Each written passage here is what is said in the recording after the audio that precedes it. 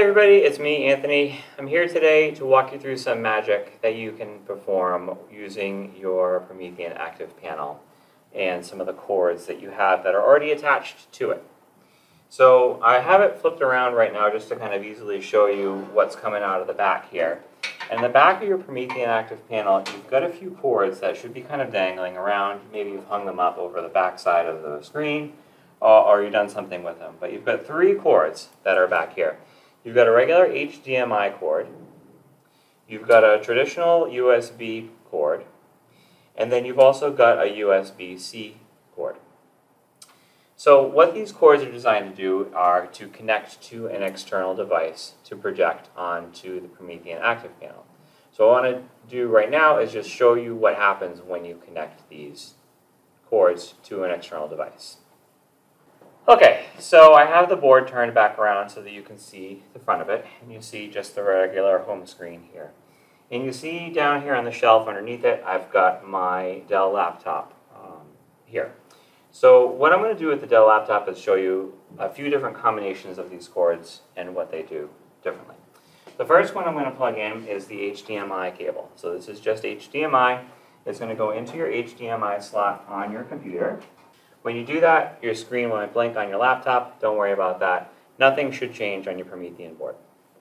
To access, to see what is happening here on the computer on the Promethean board, I'm going to hit the unified menu.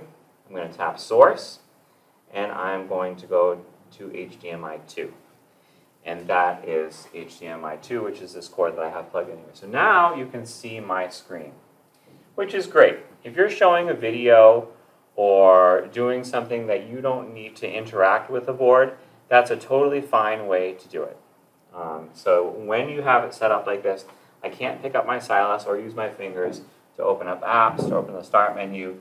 I can't do any of that as it is right now with just the HDMI cord. If I add in the regular USB cable, so if I plug in this USB cable, it's going to make the board be able to manipulate the computer. So I'm going to do that now. And now I should be able to either take my pen or my finger and open up things. So that's, that's great. That's wonderful. So that's two cords. I've got an HDMI cord and a traditional USB cord plugged into the computer. Uh, and again, I access that, I, change, I, I access those devices by tapping source and then HDMI 2. The other way that you can do that, if you're interested, whoops, is on your actual panel here on the front end, you've got a source button here, and that will bring this pop up. Same, uh, the same. It does the same thing. So uh, HDMI 2. That's how that is. Now what I'm going to do next is I'm going to take out these two cords, and I'm going to just plug in the USB-C cord. All right, so I've got the I've got the USB-C cord here. I'm going to plug just this cord into one of the USB-C ports on my device. I'm going to tap the unified menu, go to source, and now you see that the source has changed to USB-C. So that's fine. I'm going to click on that and open that up. Now when I have just the USB-C cable plugged in, I'm still going to be able to display my screen so my screen is still going to be up here, but with just the one cord, it's also making it interactive, which I like a lot because one cord is better than two cords. So I would get in the habit when you are wanting to use this board as an interactive panel to manipulate your computer to plug just the USB-C cable right into your device and all is right with the world. That's on the Dell laptop. Okay, so now I have my Chromebook on the little ledge here underneath the active panel. And I have it plugged in with my HDMI cord and my USB cord. And as expected, I'm going to be able to interact with my Chromebook here um, from the panel. So you need either, same thing, the HDMI and the USB cord to be plugged in, so to those two cords plugged into your laptop, uh, to your Chromebook, or you can also take your USB-C cable and plug that into the side. I'm going to switch that right now and show you how that works. So I plugged in my USB-C cord, I'm going to switch the source over to USB-C. Same thing, I have the ability to interact with my Chromebook here on the panel.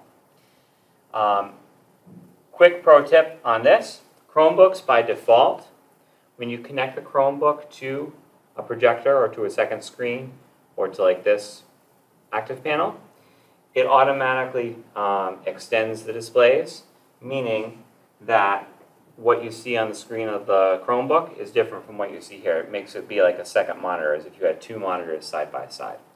So that usually messes with people a little bit. So uh, my recommendation is to make sure you just remember to switch your Chromebook over from um, displaying as a second screen to mirroring. That's a pretty simple process. I'm going to make a separate video on how to do that. Look for that if you have any trouble with that.